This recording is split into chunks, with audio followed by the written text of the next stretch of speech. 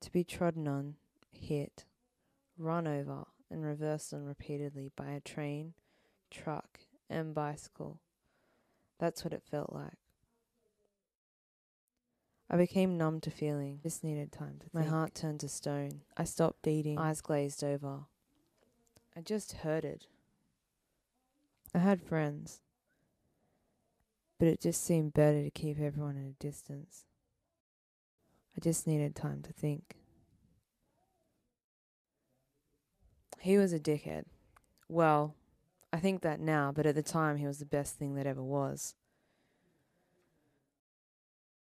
Cheating, infidelity. It's probably the lowest form of human activity. It was with my best friend, too. My room became my sanctuary. There was something safe about the right hand corner of my room. I used to sit there in the dark, crouched in a fetal position, and just cry and sob until I'd fall asleep in the hope that I would wake up and just forget everything, that it'd just go away. I recently read something that said, when you make someone else the problem, you give them power over you. You can never change them, but you can change yourself. I realized that somehow, in all my self pity, I'd lost some part of my humanity.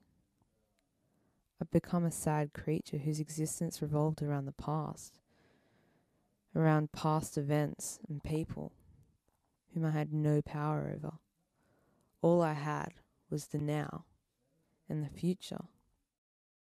It was necessary to give expression to these feelings of hurt, not to keep them pent up inside.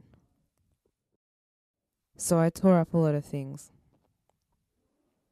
Sent abusive text messages. That didn't really work.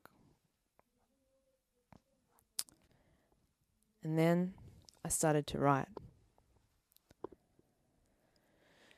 To begin with, I just write words hate, pain, love, purity, freedom, wisdom, tree, flower, box, cup, clock, polish, makeup, candle. I would do this for hours.